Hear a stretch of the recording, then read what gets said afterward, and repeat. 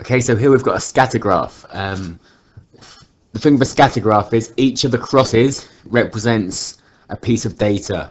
So this cross here, it's a house with four windows valued at 175,000.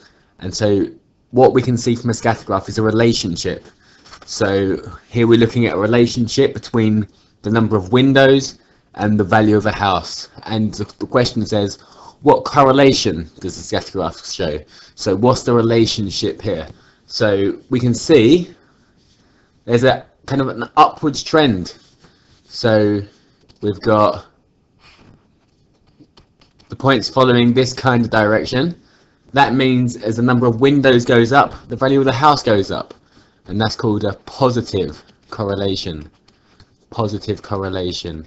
Um, if it was if going down, so if as number of windows increased, the house value decreased, and it followed like a downwards line, that would be called a negative correlation. Negative correlation. And if the points were all over the place and there wasn't a real pattern, so like that, uh, that'd be no correlation. No correlation. So we need to be able to look at scatter graphs and look at the relationship between them. So we can say as the number of windows increases here, the house value also increases. Um, it's important to note though that just because there's a correlation, it doesn't mean that there's causation. So it doesn't mean, so correlation, correlation um, does not mean causation causation. So just because as the number of windows goes up, there's a pattern, the house value goes up, it doesn't mean the number of windows causes the house value to go up.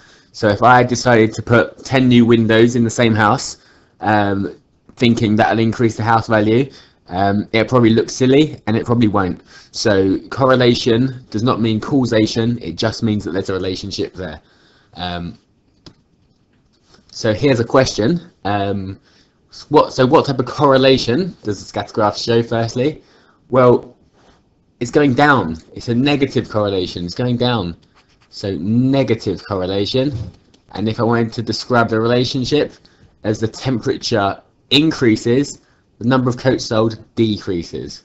Um, so on another day the temperature was 8 degrees and 200 coats were sold. So 8 degrees 200 coats. We're going to show this information and that's just going to be an x 8 200 draw a line of best fit. So what we need to do is we need to draw a line roughly going through the middle of the points. So here I can get six points on both sides. If I do a line down there um, maybe angled a little bit. So what we're trying to do is get the least distance from the x's to the line, so the line that best fits these points. So if we've got 6 on both sides, it goes roughly through the middle in the same direction, that's a good line of best fit. Um, so we've done that. On another day the temperature was 12 degrees, estimate the number of coats sold. So 12 degrees is here, we go up to our line, and then across across from our line. Now we should use a ruler here. Um, I can't do that, so I'm just gonna do the best thing I can with my eye. Um, and that's 175 there. So that's 175. Let's say it's a, roughly 190. Um, roughly 190 coats. Um, there'll be a margin of error in an exam that you're allowed to have an answer between something and something. Um, so if, as long as you've drawn a good line of best fit that goes through the middle of the points, um, your answer should be within the within the range. Okay, here's another question. Um, pause the video and see if you can give it a go.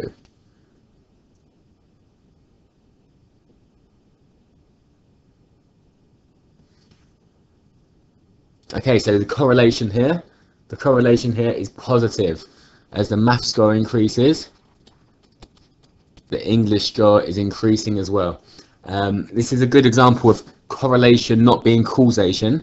Um, it's unlikely the maths test score causes the English test score to increase. Um, there's almost certainly an underlying cause of that, and it's like effort, how much effort someone puts in um, to the tests. Um, if someone puts more effort into their maths, they're more likely to put effort into English, but it doesn't cause it. So correlation there is, causation there's probably not. Um, another student's got 40 on their maths, 50 on their English. Let's show it. So 40 and 50. Let's put an X there. So that's on there now. And the line of best fit. Okay, for the line of best fit, we want roughly the same number of points on both sides. So we can have five on each side here. We're going to have a line that goes somewhere down there. So let's try and draw one on. Um, maybe a little bit down.